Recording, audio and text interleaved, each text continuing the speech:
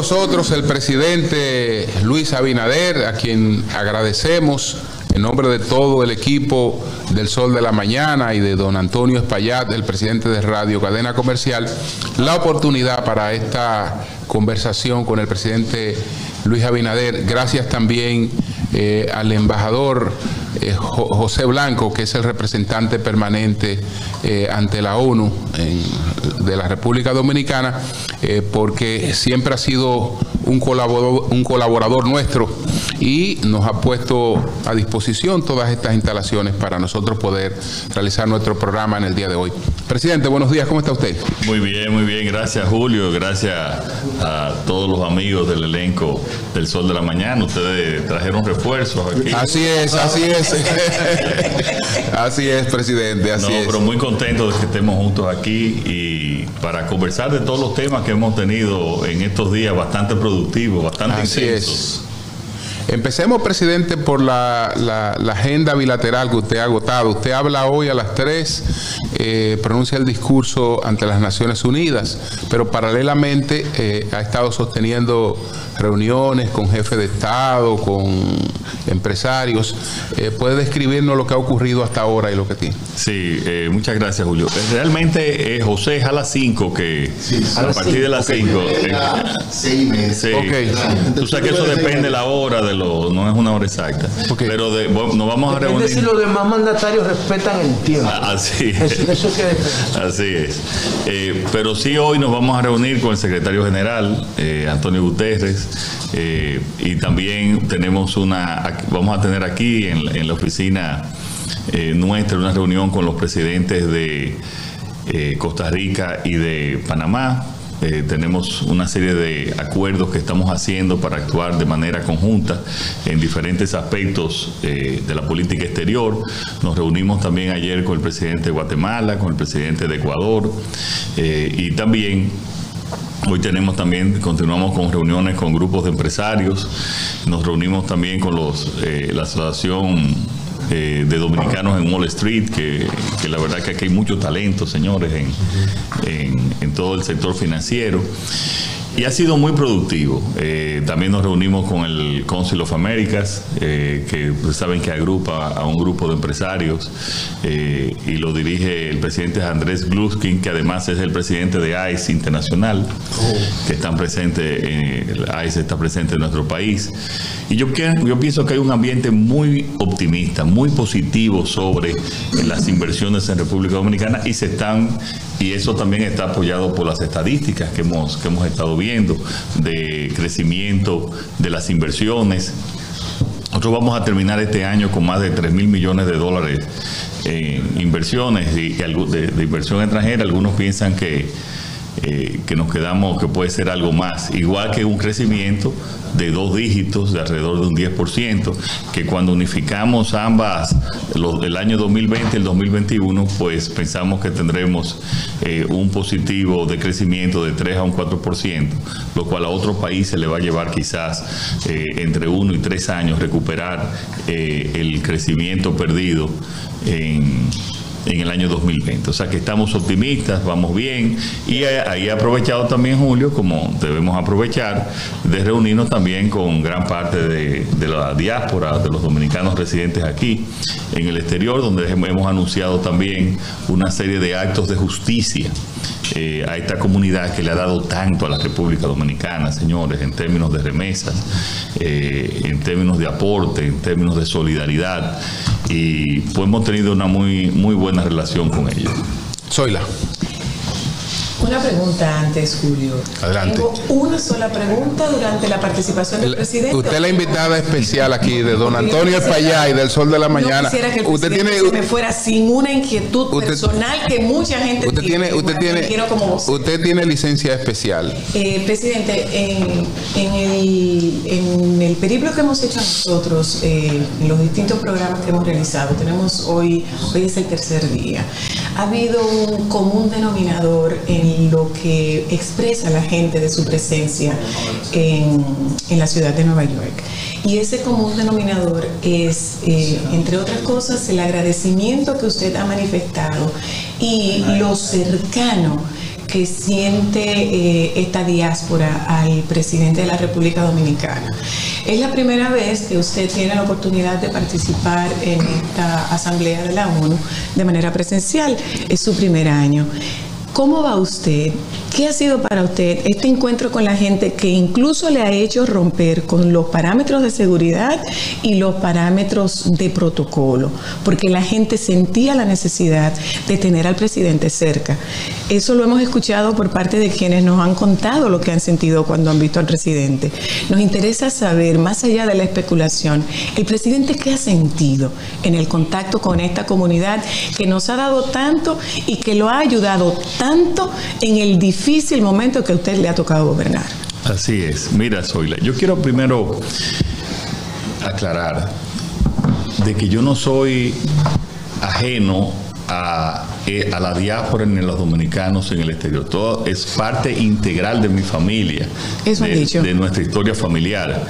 Eh, eh, Julio cometió eh, casi eh, yo creo que mi mamá ya no lo va a poner, no lo va a ver porque no mencionó a Binader Corona.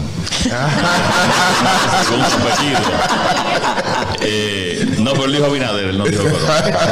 Entonces, sí, los Corona, eh, soy la son de un campo en Santiago que se llama Los Ranchos de Babosico, que pertenece a Sabana Iglesia, a Sabana A Sabana Church. Sabana Shore, Sabana Sí, Shore. y es bueno. Bellísima esa comunidad. Sí, y esa es bueno que ustedes sepan que mi abuelo, el, el- obviamente el papá de mi mamá, mi abuelo materno, pues emigró a Nueva York en el año 59, colocó una ferretería, instaló una ferretería que se llama Ferretería Corona, que todavía está ahí, que es de nuestro ¿Todavía primo. existe? Sí, existe, Hardware Corona.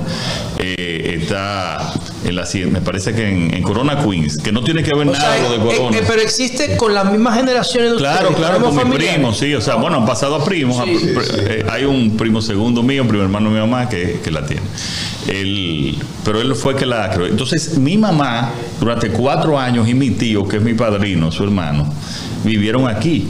Y mi mamá trabajó aquí en Nueva York también, porque ella se había graduado en una escuela de monjas en, en Canadá. Eh, y después estudió secretariado, o sea que las mujeres estudiaban secretariado Sí, en sí. esa época era. Entonces ella trabajó aquí, o sea, y, y- pero todos los coronas tenían una tradición después y, y- y se fueron estableciendo y, y una gran, el 80% de los que han presidido la asociación de supermercados también son apellidos corona. Yo conozco bastante bien esta comunidad. Yo me pasé ver, muchos veranos aquí con todos los primos. El 80% de mis primos vive aquí. Eh, por los Corona. E incluso también eh, con los pocos Abinader también habían algunos. Digo pocos porque la verdad que eran eh, eran pocos en relación con la familia Corona. Entonces yo conocí cómo han trabajado, cómo, cómo se han sacrificado y toda esa historia, muchas veces dramática, pero también que nos debe llenar de orgullo de esta diáspora. Y mira, eh, yo quisiera abrazarlos más, yo quisiera estar más en contacto con ellos, que a veces los temas eh, de tiempo y, y hasta de seguridad no nos dejan, pero he, estado, he, he celebrado muchas reuniones y, y también en esas reuniones también con aperturas de que puedan hacer preguntas, de que puedan hacer solicitudes. Eh, nosotros le debemos demasiado. Señores, esta es una comunidad tan solidaria, que es una característica del dominicano. Ellos se, se eximen de, de hacer alguna una vacaciones o de comprar eh, una propiedad aquí para que hacerle su casita a su mamá en República Dominicana. Ellos, cuando cualquiera de la familia tiene un problema de salud, de algo, cogen y se lo mandan. O sea, estamos entre una, una, una diáspora que nos llena de orgullo, que no creo que haya otra de la solidaridad que, que, que está presente.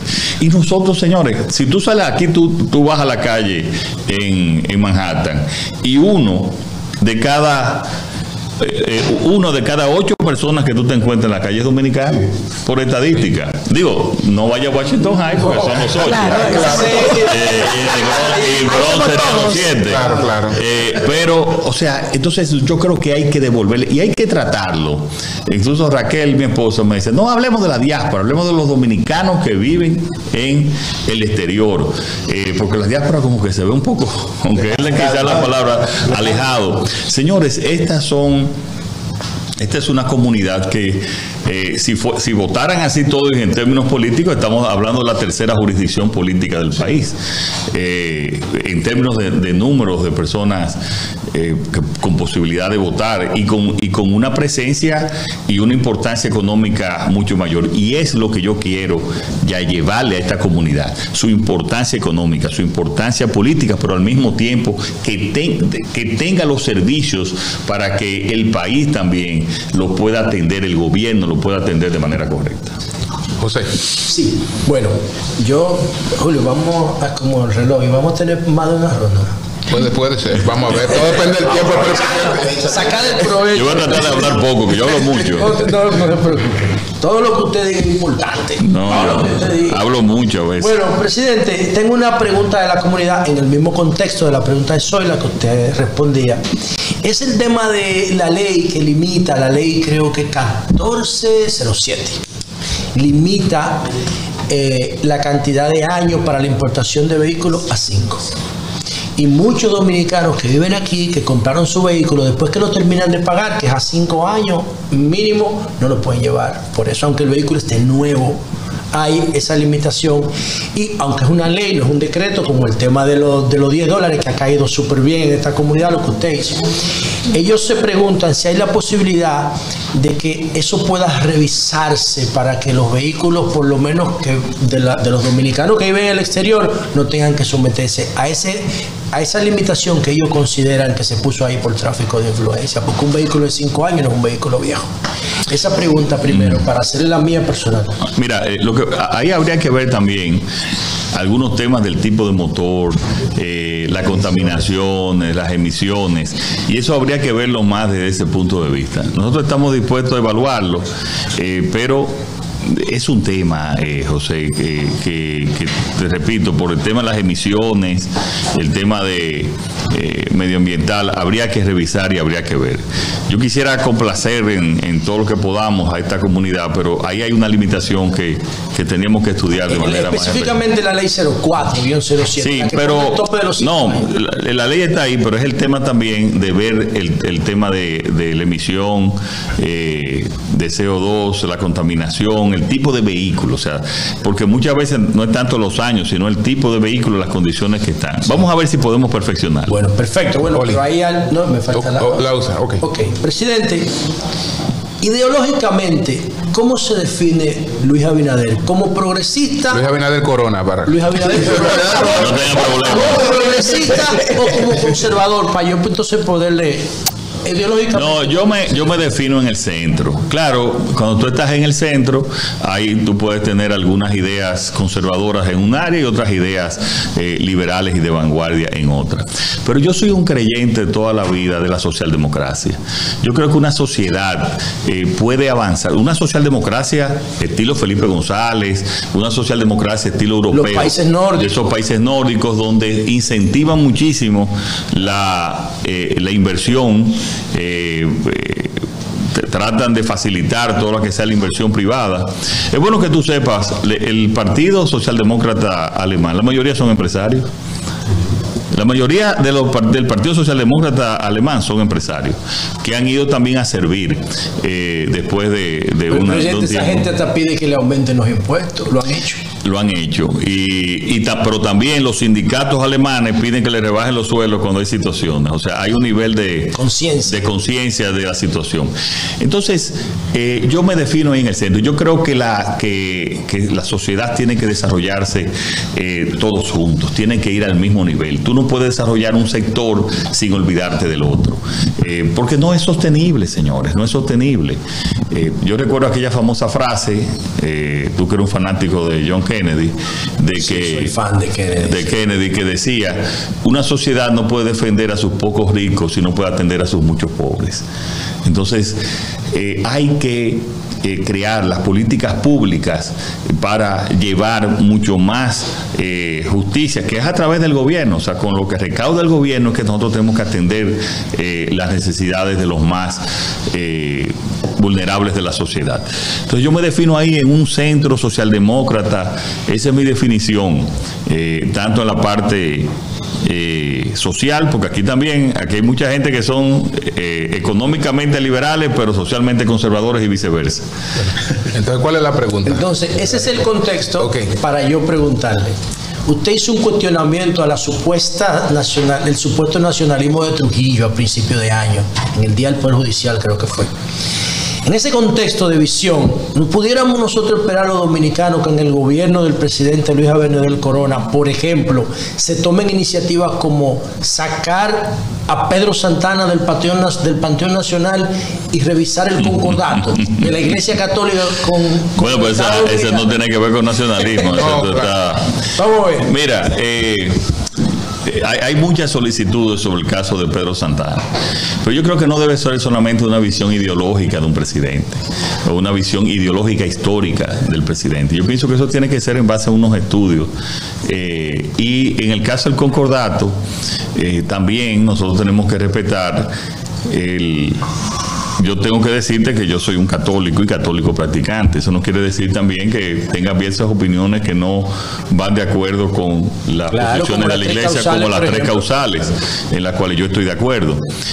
Eh, pero eh, habría que estudiar cada uno de estos casos. Yo francamente no veo ahora ninguna necesidad de, cambiar el concordato, no veo que vamos a ganar, que vamos a perder, eh, que nos va a ayudar. En el caso de lo de Pedro Santana, yo pienso que sí, que eso hay que estudiarlo y que hay que corregir esos aspectos históricos que a veces no lo hemos hecho de la manera correcta. ¿Usted está abierto a evaluar eso? Oh, abierto no, Yo estoy abierto a eso, yo estoy abierto a eso. Okay.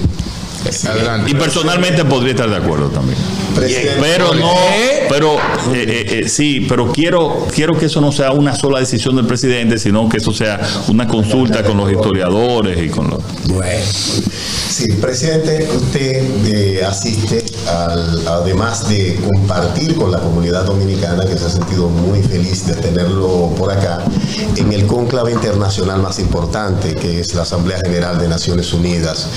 Nuestro vecino, que es el país más pobre del hemisferio, eh, pasó el 7 de julio por el asesinato de su presidente, el 15 de agosto por un terremoto eh, destructivo que llevó eh, gran destrucción. Todo esto repercute en no solo ya en República Dominicana, sino en toda América. El propio escenario de lo que se está dando en Texas, ahí en el cruce hacia acá, muestra un escenario dantesco que ha sido puesto en perspectiva por diversos medios internacionales. En su diálogo con Guterres, en su alocución, ¿qué llamado haría el presidente Abinader para que la comunidad internacional se comprometa a eh, abordar de manera distinta, ya que sabemos que Haití tuvo una intervención de más de una década y al final los resultados fueron prácticamente ninguno. Oye, entonces tú quieres que yo diga el discurso.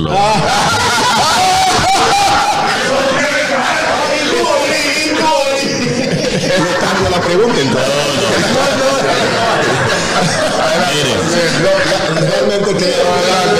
No, pero, pero evidentemente, miren señores, evidentemente que en este escenario el tema Haití, el tema Haití es fundamental. Y yo lo voy a tocar de manera especial hoy. Yo lo voy a hablar de manera especial hoy. Y solamente te puedo decir que Haití no resiste más irresponsabilidad de la comunidad internacional. Haití, la comunidad internacional tiene que ocuparse, no digo preocuparse, ocuparse de Haití. Y ahí, en esa vía, va nuestra eh, nuestro discurso. Y Oli, lo que está pasando en Estados Unidos pasamos todos los días nosotros. ¿eh? Sí, es correcto. Lo que está pasando en Estados Unidos en Texas, eso es diario que lo pasamos nosotros. Definitivamente. Eh, entonces,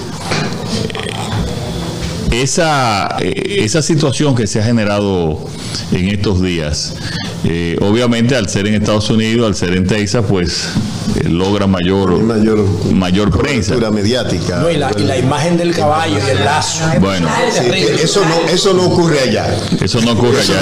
y, es, muy penoso, es, muy penoso. Ni ha ocurrido nunca. ¿eh? Así es. pero Eso es parte del discurso que vamos a hablar hoy y evidentemente que nosotros estamos muy preocupados con la situación de Haití. Hay eh, condiciones para que la comunidad internacional sea receptiva ya que el impacto de, este, del deterioro de bueno, es que ya nosotros hemos dicho desde que yo llegué al gobierno que Haití va más allá de, nuestra frontera. Haití se va a convertir, se está convirtiendo ya y, si, y, si, y, si, y si no se ocupa la comunidad internacional será más en un problema ya regional.